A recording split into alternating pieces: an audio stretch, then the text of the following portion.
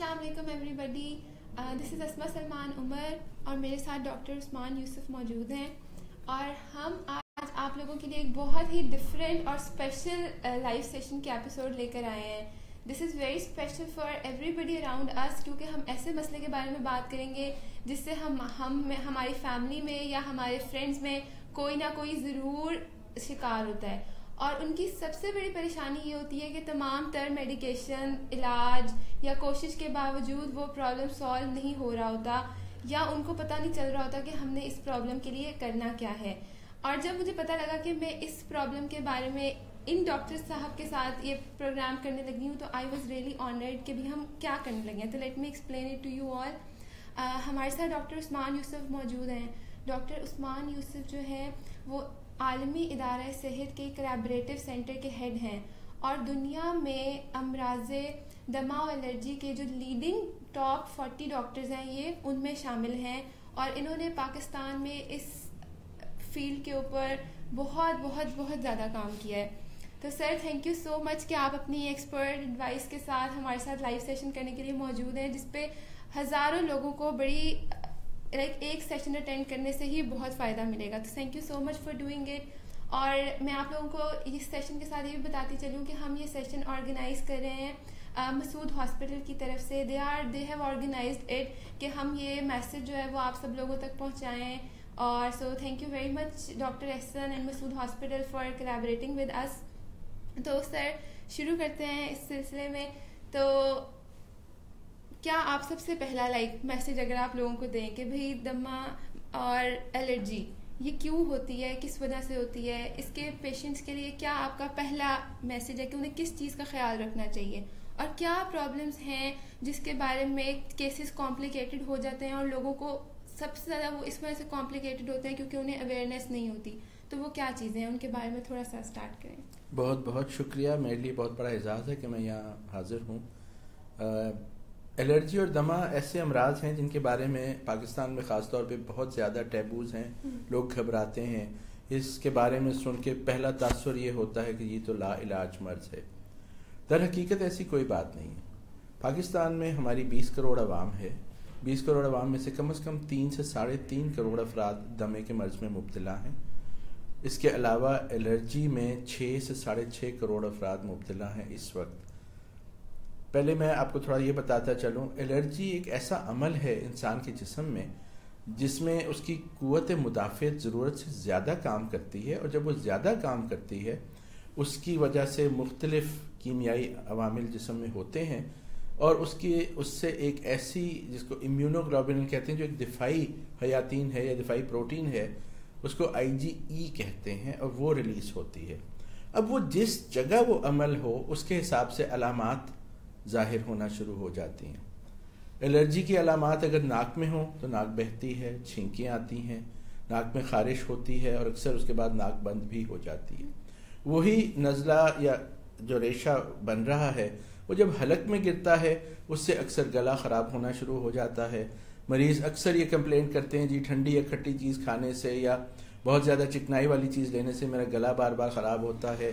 یا چھوٹے بچے بچپن سے ہی بار بار گلے خراب اور اس کی وجہ سے اللہ تعالیٰ نے یہاں پہ دو غدود بنائے ہیں جو کہ انفیکشن کو پکڑتے ہیں، ان کو ٹونسلز کہا جاتا ہے۔ وہ ٹونسلز چونکہ انفیکشن ہوتی ہے، چونکہ دفاعی نظام کام میں آ رہا ہوتا ہے، وہ پھولنا شروع ہو جاتے ہیں۔ بدقسمتی سے پرانی تحقیق یہ ہوتی تھی کہ ٹونسلز کو نکال دیا جائے۔ یہ نہ جانتے ہوئے کہ آپ نے اللہ تعالیٰ کی طرف سے جو ایک حفاظتی نظام تھا، آپ نے اس کو خراب کر دیا۔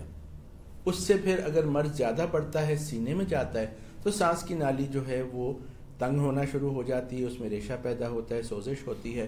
اور سانس کی نالی جب تنگ ہوتی ہے تو اس میں سیٹی جیسی آوازیں آنا ہوتی ہیں۔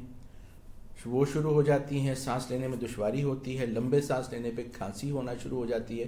اور یہ چیز دمے کا مرض بنتا ہے۔ لوگ اکثر یہ سوال پوچھتے ہیں جی الرجی اور دما میں فرق کیا ہے؟ الرجی ایک کوز ہے۔ اور اس کا جو آگے جو اس کا نتیجہ کہہ لیں وہ دما ہے۔ جیسے ایک چھوٹی سی مثال آپ کو دوں اگر گاڑی کے ٹائر میں کیل چلا جائے اگر اس کی ہوا نکل گئی تو ٹائر پنکچر ہو گیا۔ لیکن جو پنکچر ہونا ہے وہ الرجی نہیں ہے وہ کیل نہیں ہے وہ پنکچر ہوا والو لیک ہونے سے بھی ہو سکتا ہے ٹائر پھٹ جائے تو بھی ہو سکتا ہے مختلف چیزوں سے۔ جب وہ ہوا نکل گئی that is known as a puncture اسی طرح جب سانس کی نالی بند ہو گئی وہ دما ہے۔ اب چاہے وہ سگریٹ پینے والے کا دما ہو وہ ایک علیحدہ مرض ہے۔ الرجی کی وجہ سے دما ہو وہ ایک علیحدہ ہے۔ موروثی ہو کسی کے والدین کو والدین کے علاوہ نانا نانی دادا دادی کو ہو that is a different condition اسی طرح یہ پورا الرجی کا عمل اگر یہ جلد پہ آنا شروع ہو جائے تو جلد پہ بڑے بڑے ددوڑے ہونا شروع ہو جاتے ہیں۔ اور وہ چھپاکی ٹائپ اس میں خارش جلن اور بہت تکلیف دہ کیفیت ہو جاتی ہے۔ وہی چیز اگر میدے کے اندر ہو تو میدے کے امراض واضح ہونا شروع ہوتے ہیں۔ مثلاً بدہضمی گیس ہونا الٹیاں آنا وامٹنگ ہونا کے اور اکائی پیٹ خراب رہنا یہ ساری چیزیں الرجی کے مختلف مراحل ہیں یا مختلف عوامل ہیں جو اس بات پہ منحصر ہیں یا ڈپینڈ کرتے ہیں کہ وہ الرجی کا عمل جسم کے کس حصے پہ ہو رہا ہے۔ اب بہت امراض ہیں پاکستان میں، پوری دنیا میں۔ لیکن اس وقت پوری دنیا میں جو سب سے کامن مرض ہے، جس میں دنیا کی آبادی اس وقت سات ارب یعنی سات بلین ہے، ڈیڑھ بلین افراد الرجی کے مرض میں مبتلا ہیں پوری دنیا میں۔ That is a very big figure اور اگر آپ انفارچونیٹلی اس کے اسپیشلسٹ بہت کم ہیں۔ اب آپ دیکھیے گا کہ یو کے جیسے ملک میں چونتیس اسپیشلسٹ ہیں۔ پاکستان میں بدقسمتی سے پورے ملک میں صرف دو کوالیفائڈ الرجسٹ ہیں چھ کروڑ الرجی کے مریضوں کے لیے۔ یہ واقعی ایک بڑا سیریس مسئلہ ہے کیونکہ ابھی لائک ہم نے جب ڈاکٹر صاحب کی مرہم کے پلیٹ فارم کے اوپر انفارمیشن ڈالنی تھی تاکہ آپ لوگ ان کو ایکسیس کر سکیں مسعود ہاسپٹل میں تو ہم ہم ہم خود دیکھ کر حیران ہوئے کہ جو میجر اسپیشلٹیز آتی ہیں ان میں الرجی اسپیشلسٹ یا ایزما اسپیشلسٹ نہیں ہوتا۔ حالانکہ اس کے پیشنٹس جو ہیں وہ بہت بہت زیادہ ہیں۔ اور تو سر جب اگر ہم اسپیسیفکلی پاکستان کے بارے میں بات کریں تو جیسے مسعود ہاسپٹل میں آپ پریکٹس کرتے ہیں اور آپ لوگوں نے وہاں پر ایک مطلب ایک جدید نظام بنایا ہے کہ آپ ان امراض کو حل کر سکیں تو کیسے مریض آتے ہیں اور پھر آپ لوگ ان کو کن طریقوں سے ڈیل کرنے کی کوشش کرتے ہیں یا انہیں کیا سروسز وہاں پر دی جاتی ہیں؟ مسعود ہاسپٹل کا سینٹر جو ہے وہ ہمارا پاکستان میں سب سے بڑا سب سے ایڈوانسڈ اور سب سے جدید ترین سینٹر ہے۔ لیکن آپ کو کیوں لگا کہ یہ سسٹم ہمیں ضرور بنانا چاہیے وہاں پر؟ اس لیے کہ یہاں کا کیچمنٹ ایریا بہت زیادہ ہے۔ صحیح۔ اگر آپ ہمارے کلینکس کو اگر آپ آ کے وہاں بیٹھیں تو آپ کو سرحد پار انڈیا سے بھی پیشنٹس ملیں گے۔ پورا مشرق وسطی یہاں پیشنٹ یہاں لاہور میں آتا ہے یا ہمارے کراچی کلینک میں لیکن کراچی کے حالات چینج ہونے کی وجہ سے ہم نے وہاں کی کلینکس کو چھوٹا کر دیا۔ مین جتنا تحقیقاتی ادارہ ہے وہ ہمارا مسعود ہاسپٹل پہ ہی ہے۔ اسلام آباد میں سینٹر ہے وہ اسلام آباد کی الرجیز اور افغانستان کے مریضوں کو کیٹر کرتا ہے۔ تو بیسکلی الرجی و دما انسٹیٹیوٹ پاکستان جس کا main office Masood hospital Lahore میں واقع ہے یہ اس پورا خطۂ عرض کو ساؤتھ ایشیا کو پاکستان کو مڈل ایسٹ کو یہ کور کر رہا ہے اس ایک سینٹر سے۔ تو باقی تو میں اسپیشلٹیز کے بارے میں کچھ کہہ نہیں سکتا۔ یہاں ماشاء اللہ بہت اچھے اسپیشلسٹ ہر ہاں۔ مرض کے ہمارے پاس موجود ہیں۔ لیکن ہر مرض کے ہمارے پاس ایک سے زیادہ اسپیشلسٹ یہاں ہیں۔ ہاں۔ یہاں پہ بدقسمتی یہ کہ مریض بہت زیادہ ہیں سینٹرز کم ہیں۔ اس لیے ہم اس کو پبلسائز بھی نہیں کرتے زیادہ اس کی ایڈورٹائزمنٹ تو ہم ایڈورٹائزنگ کرتے ہی نہیں ہیں کیونکہ ہمارے پاس تین سے چار مہینوں تک ویٹنگ لسٹ ہوتی ہیں۔ ہمارے جتنے مراکز ہیں جتنے سینٹرز ہیں وہاں اسپیشلسٹ موجود ہیں۔ لیکن ایسے ہوتا ہے کہ کچھ مریض آ جاتے ہیں جس کو لازمی لازم ہو جاتا ہے کہ میں خود ان کو دیکھوں۔ اور ایسے جتنے بھی پیشنٹس ہوتے ہیں یا کوئی بھی پیشنٹ ہو ہم یہ نہیں چاہتے کہ وہ میرا انتظار کریں گے جی ڈاکٹر عثمان آئیں گے کیونکہ میں کسی وقت بھی کسی بھی ملک میں کبھی بھی, بھی ہو سکتا ہوں کیونکہ میری ڈومین اس وقت بھی سن دو ہزار بارہ میں میں یورپ کی جو کمیٹی تھی ریسرچ کی میں اس کا چیئرمین تھا اس کی وجہ سے میرا اکثر ٹائم یورپ گزرتا تھا۔ ابھی گزشتہ میرا خیال تین ہفتوں میں ڈاکٹر احسن صاحب کو پتہ ہے میں لاہور سے گیا، یہاں سے میں ایڈنبرا میں میرے لیکچرز تھے لنڈن تھا لنڈن سے پھر میں کینیڈا گیا، وہاں لیکچرز تین دن کے بعد میں امریکہ میں تھا۔ اور بلکہ جہاں آپ نے شاید سنا ہو، لاس ویگس میں جو شوٹنگ ہوئی ہے، اس سے تین دن پہلے میں اسی ہوٹل سے نکل کے آیا تھا۔ نیو یارک سے ہوتا ہوا پھر ابھی میں برسلز میں عالمی ادارہ صحت کی میٹنگ سو میں یہ نہیں چاہ رہا کہ مریض خراب ہوں۔ اس کی وجہ سے۔ اور لوگ آپ لوگ بھی اپنے جو کوشچنس ہیں ابھی ہمارے ساتھ ڈاکٹر صاحب ہمارے پاس موجود ہیں آپ لوگ اپنے کوشچنس پوچھ سکتے ہیں۔ بلکہ ہمارے پاس آنا بھی شروع ہو گئے ہیں میں آپ کے ساتھ وہ بھی شیئر کرتی ہوں کہ تاکہ جو ہے اگر ڈاکٹر صاحب ہمارے پاس ابھی اویلیبل ہیں تو ہم ان کی موجودگی سے مستفید ہوں۔ تو سر لیکن ایک ان کی طرف جانے سے پہلے صرف ایک چیز کہ ایزما جی۔ کو فیٹل کنسیڈر کیا جاتا ہے۔ جی بالکل۔ اور وہ اگر کوئی پیشنٹ ہے جو بالکل اس مطلب اسٹیٹ کے اوپر ہے کہ لائک اس کے لیے اتنا ڈسٹرب تو وہ کیا ایسی وجوہات ہوتی ہیں جن کی وجہ سے وہ فیٹل اسٹیٹ تک چلا جاتا ہے؟ مینج نہ ہونے کی وجہ سے۔ جی بالکل۔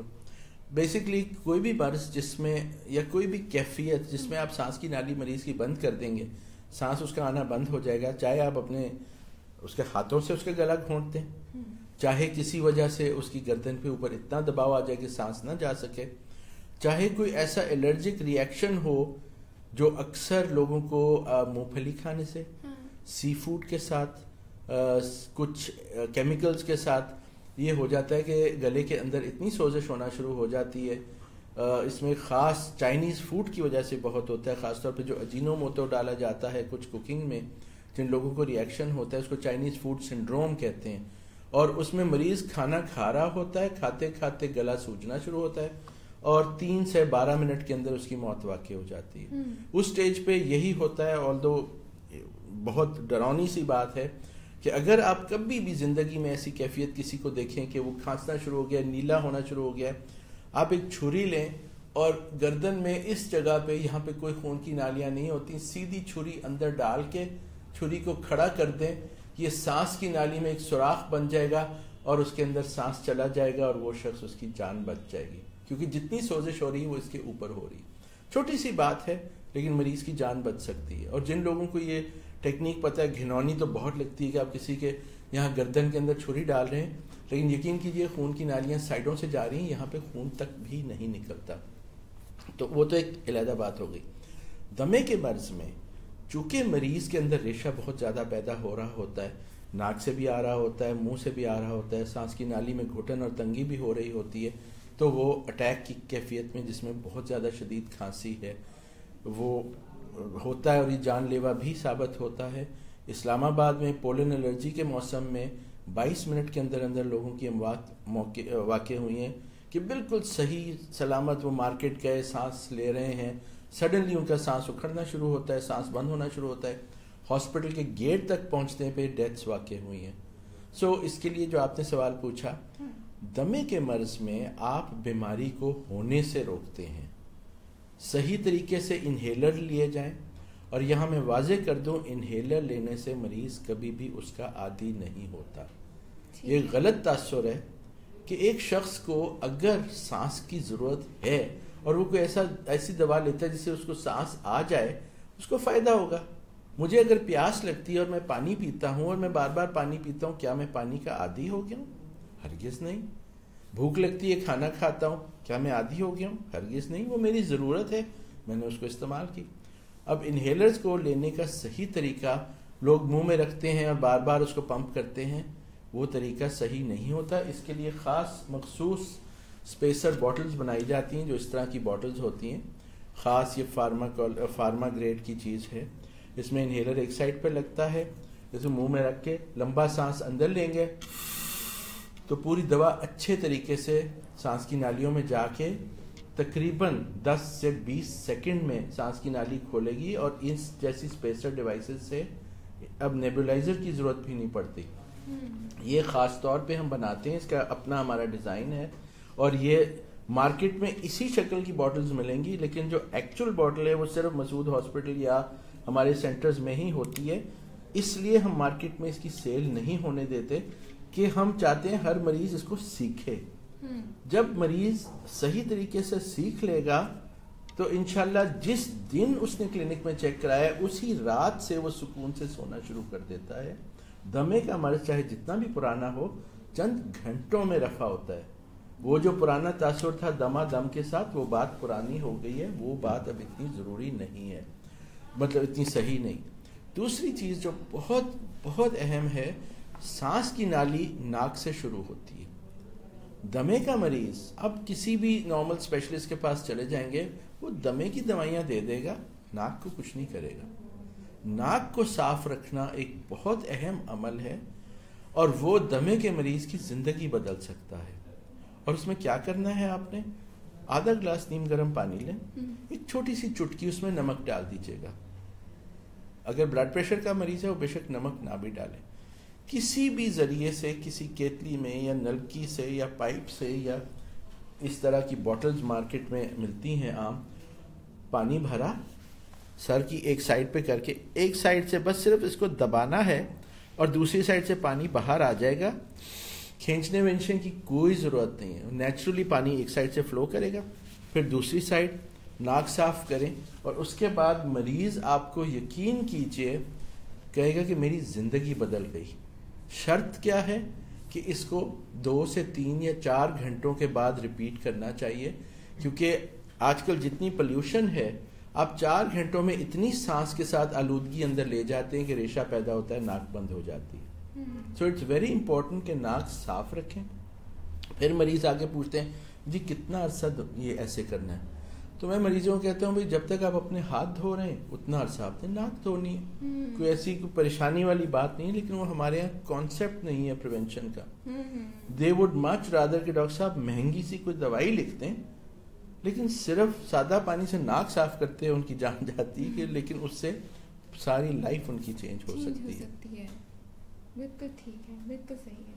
اچھا سر ہمارے پاس ابھی ایک کوشچن ہے کہ how smog affects are breathing اور does it lead to asthma what are the effects of smog on human body کیونکہ اسموگ کا بڑا رہا بھی پرابلم اور یہ واپس آ جاتا ہے تو اس کا کیا لائک صحت کے اوپر برا اثر پڑتا ہے سب سے پہلا سوال تو یہ اسموگ ہے کیا بیسکلی عام جو فوگ ہے اور اسموک یعنی دھواں ان دونوں کو اگر کمبائن کریں تو اسموگ بنتی ہے اب اس اسموگ کے اندر وہ جو دھواں ہے اگر اس میں کوئی بھی کیمیائی عمل شامل ہے تو اس کے ساتھ وہ اس میں تیزابیت سی پیدا ہوتی ہے اور وہ سانس کی نالی کو بہت برا افیکٹ کرتا ہے۔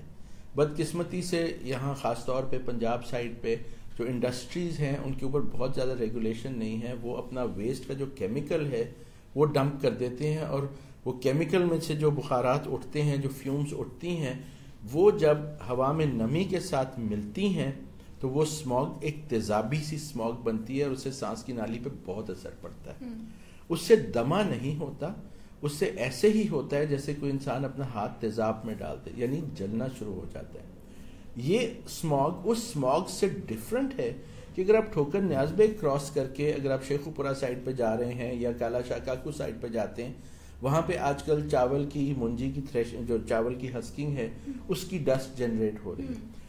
اس میں دما ہوتا ہے کیونکہ اس میں چاول کی ڈسٹ میں باریک جو پارٹیکل ذرات ہیں ان سے الرجی ہوتی ہے۔ وہ جو فوگ کے ساتھ مکس ہوتی ہے وہ ایک ڈفرنٹ کلر ہے اس کا ایک اثر ڈفرنٹ ہے۔ اس میں سانس گھٹے گا جلن نہیں ہوگی۔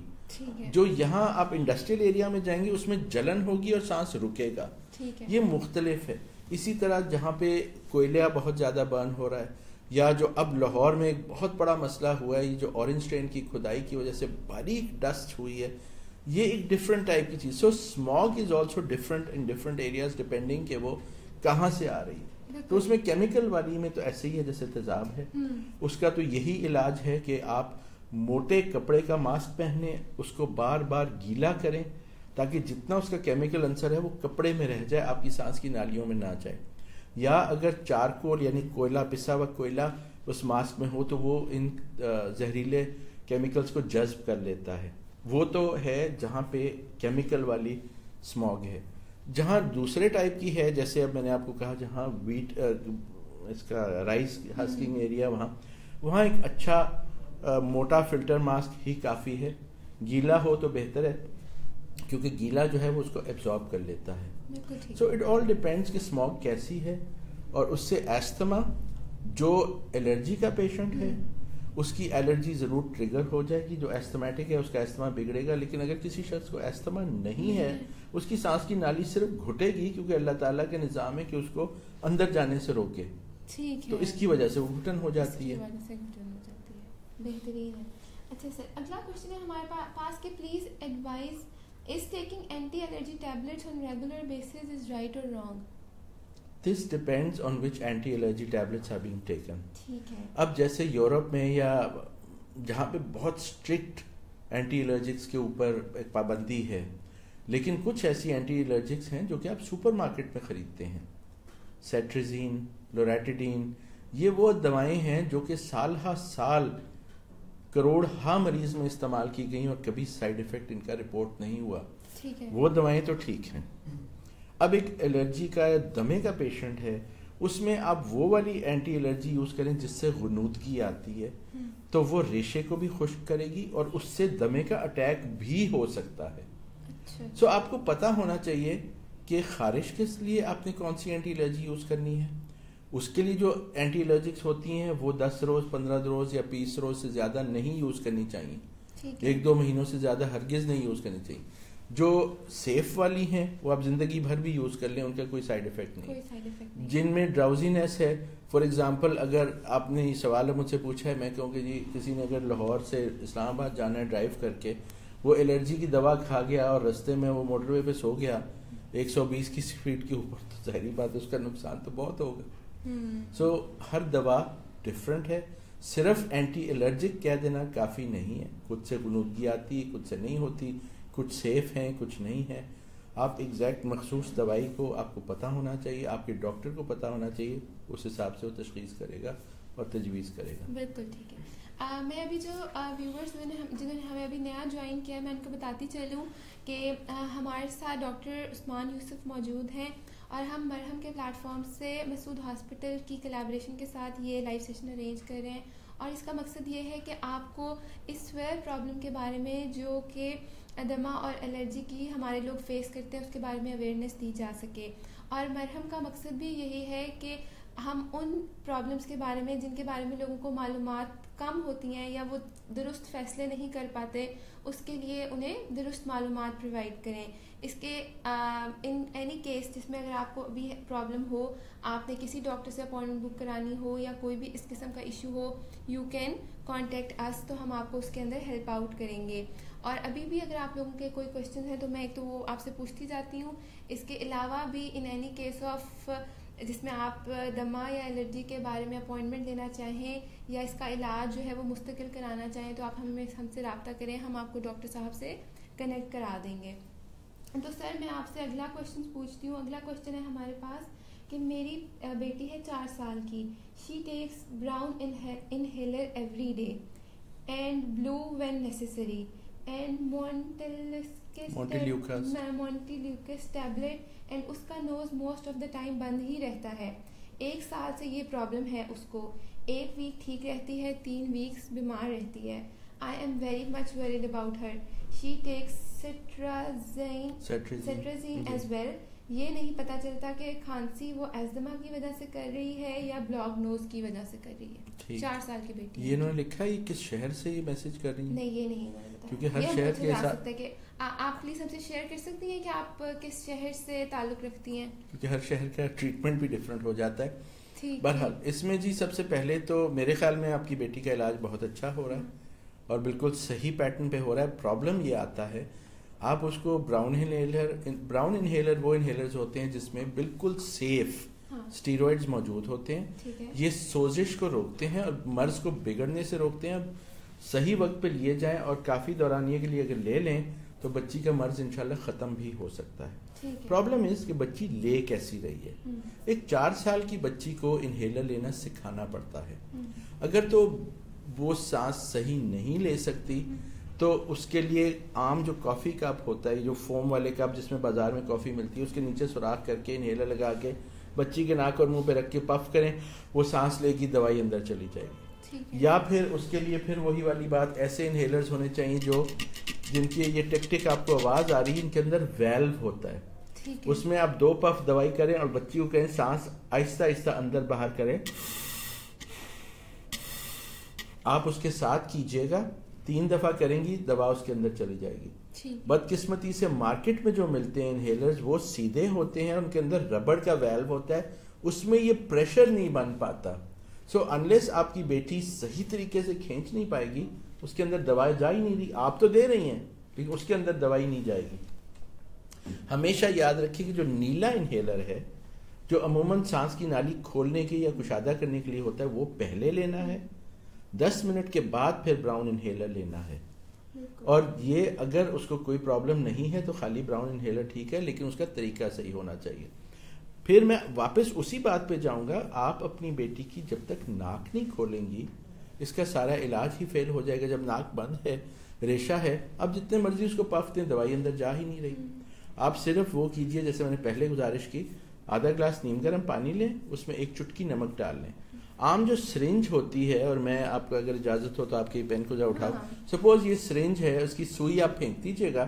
اس میں آدھی سرنج میں نمک پانی بھر کے بیٹی کو یوں کر کے تھوڑا سا اندر ڈالیں اور پھر اسی سرنج کو واپس کھینچے تاکہ جتنا گند ہے ناک کا مواد ہے وہ باہر آ جائے۔ پہلے ایک سائڈ، پھر دوسری سائڈ۔ پہلے دن میں ہی آپ فرق نوٹ کریں گے کہ اب وہ انہیلر زیادہ بہتر کام کر رہا ہے۔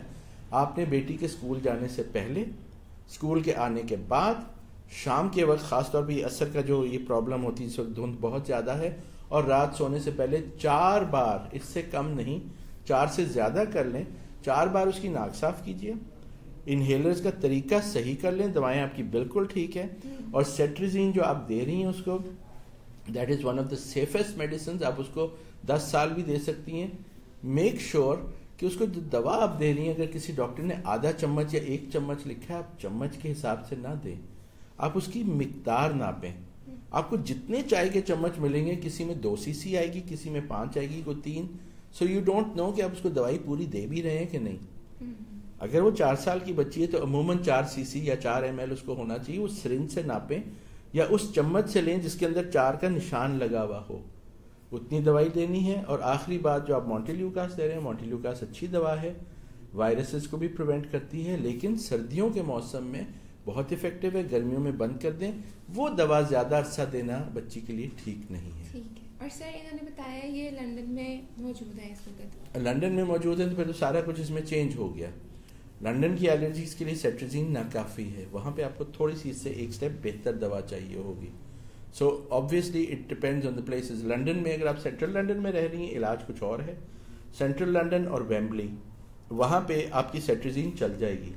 اگر آپ لیوٹن سائڈ پہ ہیں یا اگر آپ ایسٹ لنڈن پہ ہیں یا اگر آپ تھوڑا سا نارتھ گولڈس گرین سائڈ پہ ہیں، آپ کی دوا دن میں صبح شام اس کی ڈوز کرنی پڑے گی۔ اگر آپ لنڈن کے آؤٹسکرٹس میں ہیں وہ سارا چینج ہوتا ہے کیونکہ لنڈن بذات خود جو شہر ہے، وہ پانچ شہروں پہ مشتمل ہے اور ان کا الرجی لوڈ ساروں کا بہت مختلف ہے۔ پھر اس پہ یہ ڈپینڈ کرتا ہے کیا آپ بیسمنٹ میں رہتے ہیں یا گراؤنڈ فلور کا گھر ہے آپ کا، یا اوپر کا گھر ہے۔ اس میں بھی دوائیں تبدیل ہو جاتی ہیں۔ سو اگر آپ زیادہ اسپیسیفک جواب چاہتی ہیں تو آپ ان کو ای میل کریں اور میں آپ کو ای میل پہ اس کا سارا جواب ان ڈیٹیل دے دوں گا. کیونکہ ظاہری بات ہے جو ہمارے ویورز پاکستان میں ہیں وہ شاید اس بات کو اتنا اپریشیٹ نہ کریں لنڈن کے حساب سے. But your treatment needs to go according to that otherwise جو چلڈرن ہاسپٹل ہے گریٹ آرمنڈ اسٹریٹ پہ آپ وہاں پہ دکھا سکتے ہیں. وہاں پہ ایک ایستما ڈپارٹمنٹ ہے جو بچوں کو صرف ڈیل کرتا ہے. یا پھر برامپٹن چیسٹ ہاسپٹل میں جو پیڈیاٹرک یونٹ ہے وہاں ہیں میرا خیال جو ان کے ہیڈ ہیں پروفیسر اینتھنی فرو میرے کولیگ ہیں بیکاز آبویسلی میں بھی وہاں پڑھاتا ہوں تو we are all colleagues at that level آپ مجھے کہیں گی تو پھر میں آپ کو ریفرل۔ دے دوں گا ان کے بالکل آپ مجھے ان باکس کر سکتی ہیں یا آپ مرہم کے اسی پیج کے اوپر آپ جا کے ان باکس کر دیں we will help you out ان شاء اللہ تعالیٰ اور جیسے نیکسٹ کوشچن کی طرف جاتے ہیں نیکسٹ کوشچن ہے کہ is it true breathing problems gradually decrease when children grow up it all depends یہ باتیں پہلے تو بالکل ہوتی تھیں بٹ ہاں۔ پہلے ہمارے کیمیکلز نہیں ہوتے تھے کھانے میں ہاں۔ ہمارے چکن میں اتنے ہارمونز نہیں ہوتے تھے ہمارے دودھ میں ہارمون نہیں ہوتے تھے ہمارے اماں بابا گھر کے اندر بیٹھ کے سگریٹ نہیں پیا کرتے تھے ہمارے گھر میں اتنی کارپٹس نہیں ہوتی تھیں ہاں۔ ہمارے بچے شام کو گلیوں میں جا کے کھیلتے تھے اور وہ ٹھیک ہو جاتے تھے جب سے موبائل فون آ گئے اس میں گیمز آ گئیں لیپ ٹاپس آ گئے بچوں نے کھیلنا چھوڑ دیا ہم اپنے امراض خود بڑھا رہے ہیں سر میرا آپ سے ایک سوال ہے۔ میرے جتنے بھی لائف سیشنز ہوتے ہیں نا ان میں ایک چیز ضرور آتی ہے کہ اگر آپ ایکسرسائز کرتے ہیں اگر آپ آپ کا لائف اسٹائل ہیلدی ہے تو آپ ٹھیک رہتے نو ڈاؤٹ بالکل آپ بھی یہی کہتے ہیں۔ One hundred percent one hundred percent بلکہ ٹو ہنڈریڈ پرسینٹ بالکل صحیح۔ تو سر ادھر ابھی ہمارے پاس نیکسٹ سوال ہے۔ میرا بھی ایک سوال ہے میں آپ سے اینڈ جی۔ پوچھوں گی۔ لیکن جو نیکسٹ کوشچن ہے وہ یہ کہ I get breathe suffocation early in the morning and in fog or smog. It's very painful. Is this asthma or pollen allergy? پہلی بات تو سیزن پہ ڈپینڈ کرے گا. پولن الرجی کے مخصوص سیزنز ہوتے ہیں اور مخصوص پودوں کے پولنس ہوتے ہیں. اللہ تعالیٰ نے جتنے پودے بنائے ہیں ہر پودے کا پولن مختلف ہوتا ہے. کسی کو ایک سے الرجی ہو سکتی ہے کسی کو دوسرے سے کسی کو ساروں سے کسی کو کسی سے بھی نہیں. سو so, جب تک وہ سیزن ہمیں نہ پتا ہو اور پھر اس کا الرجی ٹیسٹ کیا جائے اور وہ ٹیسٹ اس سیزن کے ساتھ کوریلیٹ نہ کرتا ہو اس کی اہمیت نہیں ہوتی. بدقسمتی سے جو نان الرجی اسپیشلسٹ ہیں وہ ٹیسٹ کر دیتے ہیں۔ جو چیز سامنے ٹیسٹ پہ ٹیسٹ ایسے ہوتا ہے کہ جس چیز سے آپ کو شک ہے کہ الرجی ہے، آپ جلد پہ کترا پھینکتے ہیں، سوئی سے اس کو پرک کرتے ہیں اور مچھر کے کاٹے کی طرح سے وہ پھولنا شروع ہو جاتا ہے۔ But everything with swells is not allergy you have to correlate کہ وہ کیا اس سیزن میں اس شخص کو بیماری بھی ہے، ہو رہی ہے، امراض، مرض بڑھ رہا ہے۔ اور دیٹ از ہاؤ بٹ صبح اٹھتے ساتھ نارملی چھینکے آنا۔ اور سانس میں گھٹن ہونا عموماً ان حضرات کی وجہ سے میں حضرات کہوں گا جو آپ کے بیڈ میں آپ کے ساتھ سو رہے ہیں اور وہ کون ہیں؟ ڈسٹ کے اندر رہنے والا ایک چھوٹا سا کیڑا جس کو ہاؤس ڈسٹ مائٹ کہتے ہیں۔ قالینوں میں صوفوں میں اور سب سے زیادہ میٹرسز میں گدوں میں وہ رہتا ہے۔ اس کی مخصوص علامات صبح فجر کے ٹائم دما ہونا صبح اٹھتے ساتھ چھینکے آنا اور اس کے ساتھ خاص طور پہ رات کے ٹائم جب مریض سو جاتا ہے اس وقت تک اس کو کوئی پرابلم نہیں۔ سونے کے بعد آنکھوں میں خارش اور پرابلمز رات تین بجے کے بعد تنگ کرنا شروع ہوتی ہیں۔ تو جو آپ بتا رہے ہیں اٹ ساؤنڈز لائک کہ یہ ڈسٹ مائٹ الرجی ہوگی۔ پولن نہیں ہوگا انلیس آپ پورے سال میں مخصوص دس دن یا بیس دن یا پندرہ دن ایسے ہوں گے جس میں problem who. But if it's all year long it is most likely dust mite allergy اور ڈسٹ مائٹ وہی والی بات نمی کے موسم میں زیادہ ہو جاتا ہے اور پلس کوئی بھی سانس کی پرابلم ہو کوئی بھی ہو کسی قسم کی جب ہوا میں نمی زیادہ ہو جاتی ہے ہیومیڈیٹی بڑھ جاتی ہے تو جتنی آکسیجن آپ اندر لے رہے ہیں اس آکسیجن میں پانی شامل ہونا شروع ہو جاتا ہے۔ اوبیسلی ہیومیڈیٹی ہے۔ سو ہاں۔ کم آکسیجن ہے سانس کی تکلیف بڑھ جائے گی۔ بالکل صحیح۔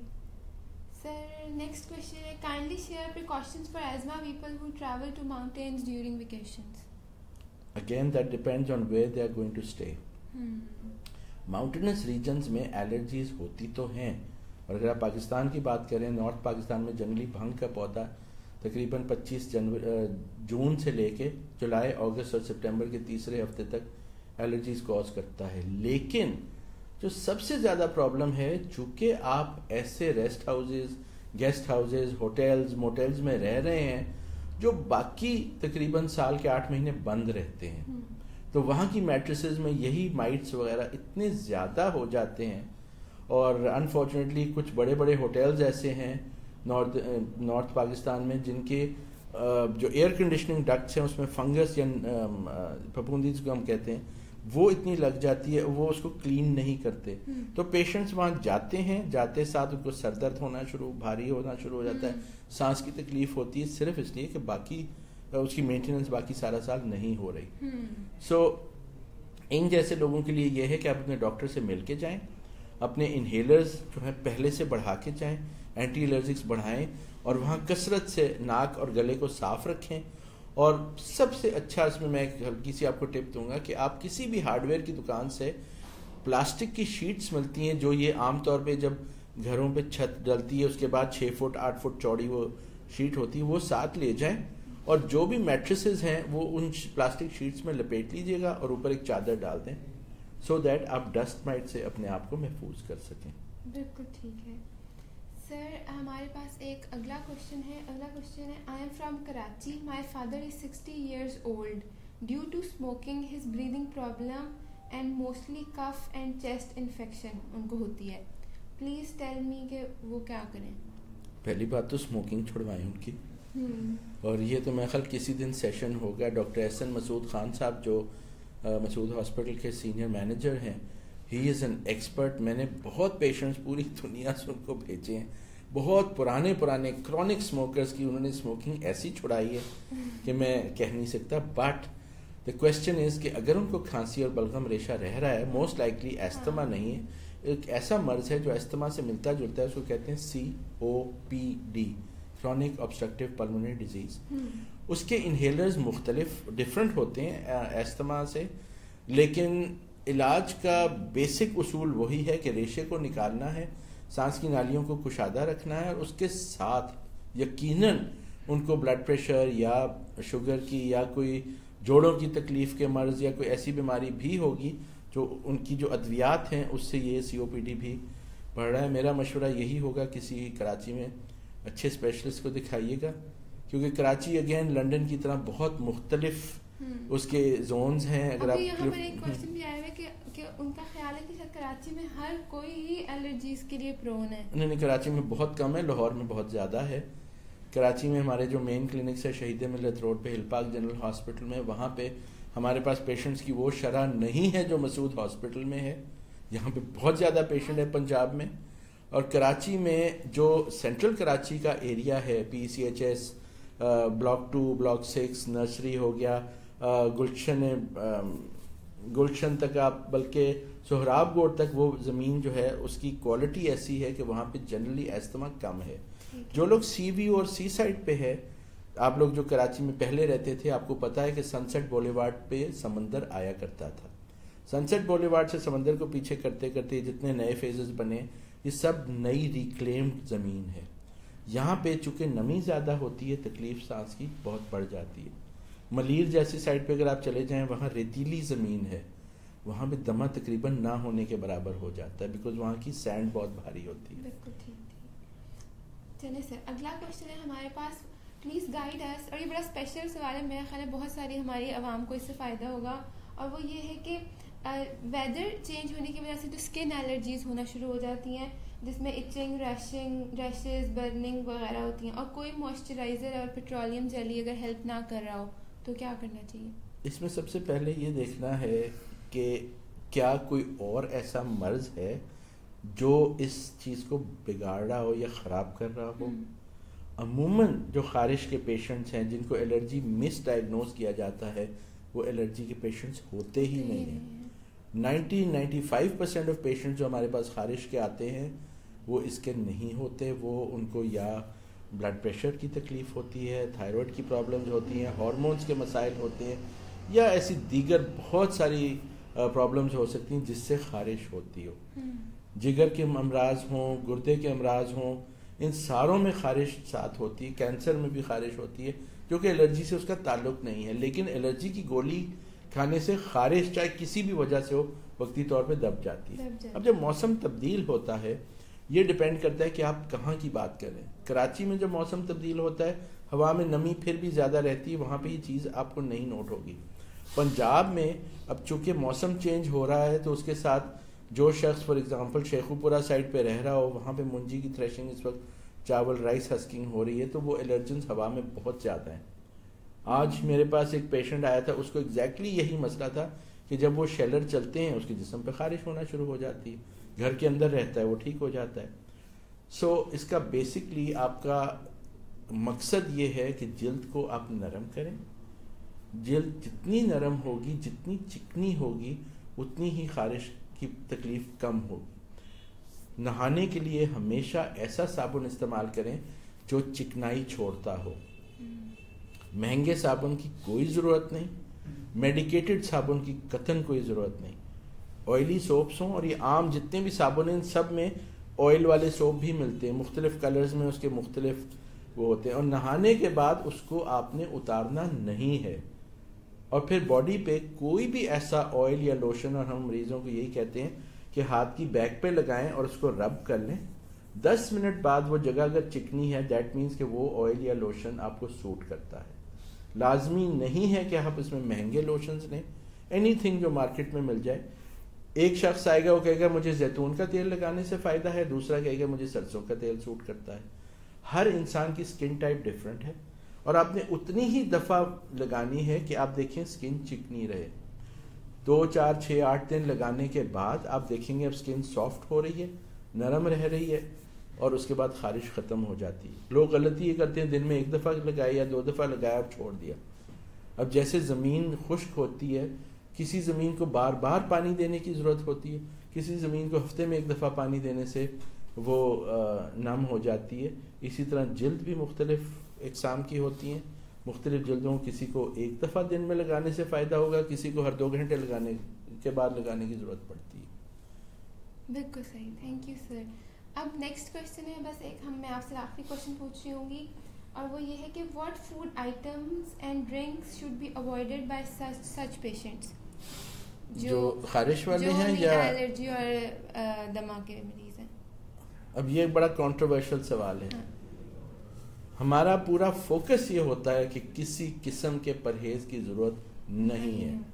اچھا علاج ہو ریشہ صاف ہو رہا ہو ناک پراپرلی صاف ہو غرارے کیے ہوں ریشے کو خارج کر لیا جائے کسی قسم کے پرہیز کی ضرورت نہیں ہے۔